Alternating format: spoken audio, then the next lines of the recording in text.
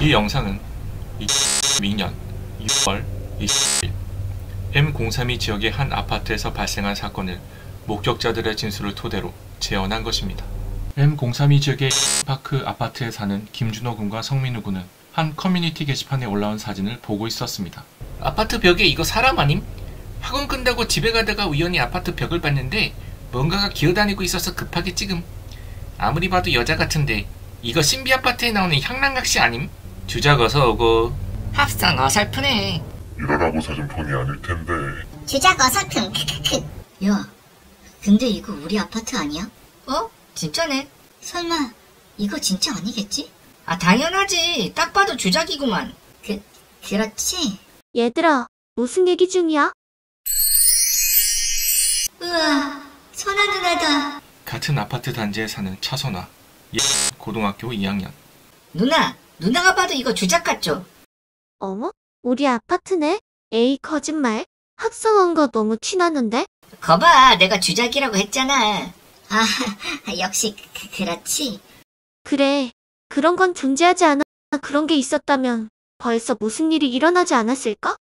며칠 후 준호는 학원이 끝나고 집으로 돌아가고 있었습니다. 아 초등학생이 밤 10시에 학원 끝나는 거 싫어? 이놈의 학원 뺑뺑이 지겹다 민우 이 자식은 오늘 학원 왜 안 온 거야?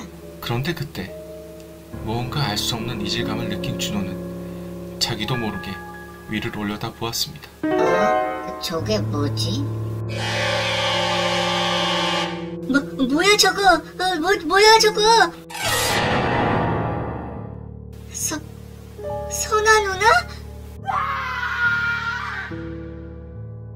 사건 발생 직후 MIM 비밀조사단 요원들은 해당 아파트 지하창고에서 거대한 거미줄에 고치 상태로 말려있는 초등학생 아이들을 발견했습니다.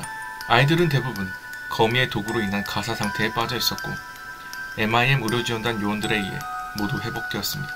하지만 안타깝게도 팀 군과 군은 이미 거미의 소화액으로 추정되는 물질에 의해 신체의 대부분이 녹아버린 상태였습니다. 목격자들의 진술을 토대로 변칙 객체로 추정되는 차선화 학생을 경찰의 협조로 찾아보았지만 일가족 모두 행방을 찾을 수 없었습니다. MIM은 이 변칙 객체를 MIM-059로 분류하고 위험 등급은 스킬레스 등급으로 지정했습니다. MIM-059의 공식 명칭은 거미녀입니다. 거미녀가 평범한 사람의 몸속에 기생하는 존재인지 본래 평범했던 차선화 학생이 변칙 객체로 변화한 것인지는 아직 밝혀지지 않았습니다. 거미녀는 만 14세 이하의 아이들을 주로 포식하는 것으로 추정됩니다. 대처법 밤늦게 혼자 돌아다니지 마세요.